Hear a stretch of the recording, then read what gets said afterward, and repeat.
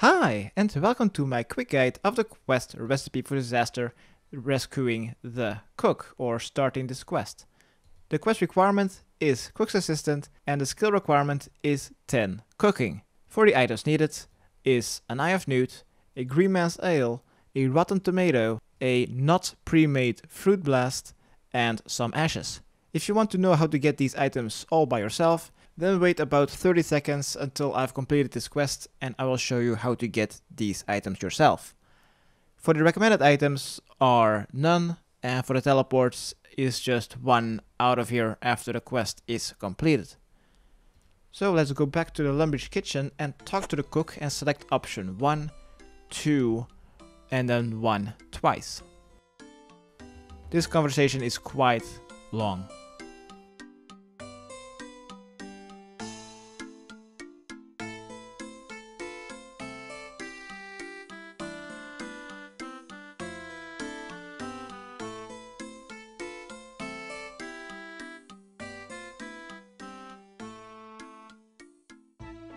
Alright, once you've selected the final one to help him, he will give you 100 coins and then use your ashes on the fruit blast.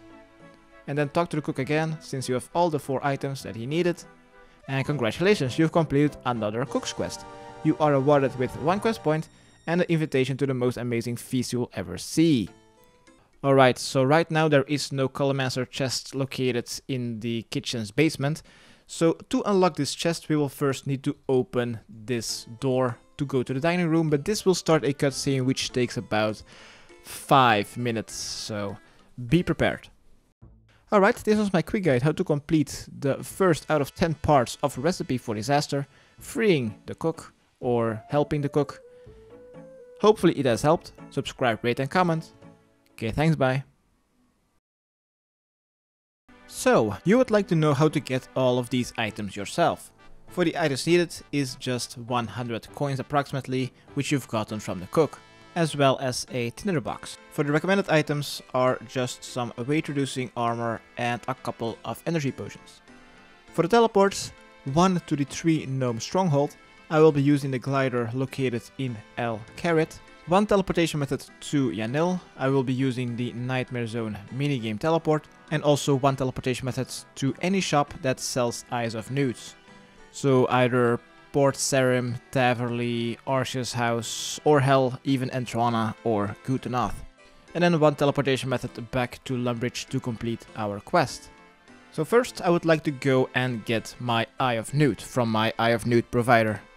Doesn't really matter where, just get yourself one Eye of Newt. I'm going to buy one in Port Sarim.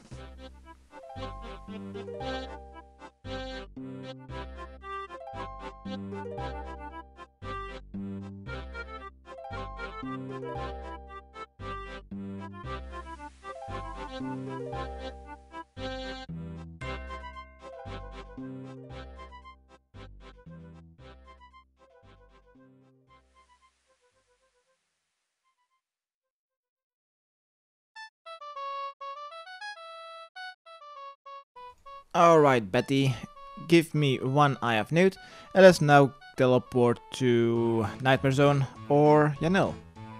If you do not have access to the Nightmare Zone minigame teleport, then bring a Castle Wars teleport or use an Ardougne Cloak number 1.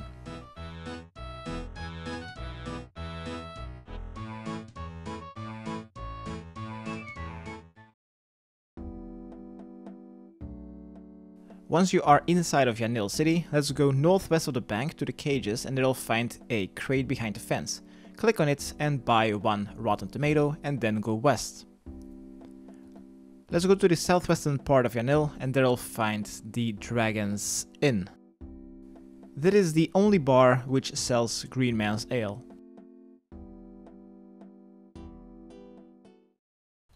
So let's enter the bar, let's go to the counter and talk to the bartender and select option 3.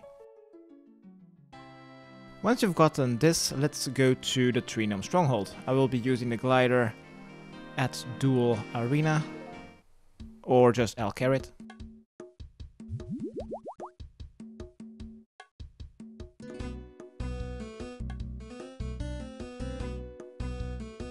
Once you've made it to the Tree Gnome stronghold, let's go down to the second floor, or the first floor if you're from Britain and Europe, and then go to the southeastern part. East of Blurberry's bar, there you'll find a red dot. Go towards that red dot and you should find a cocktail glass. Pick it up, and next to it you should find Heckel Funch.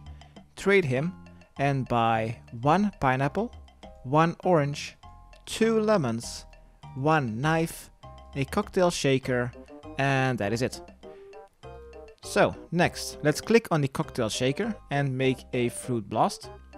Next, use your knife on the lemon, select option 1 to make it to slices, then click on the cocktail shaker again to pour it into your glass, and now we just need to return back to Lumbridge. Alright, for the final item, let's return to the Lumbridge Castle and let's go to the top floor, to the bank. And here we'll find north of the bank 4 red dots and 4 logs. Light any of them. And now we just need to wait until the fire is extinguished so we can grab our ashes, which is our final item. Once we have gotten our ashes, let's return to the cook to start and also complete this quest.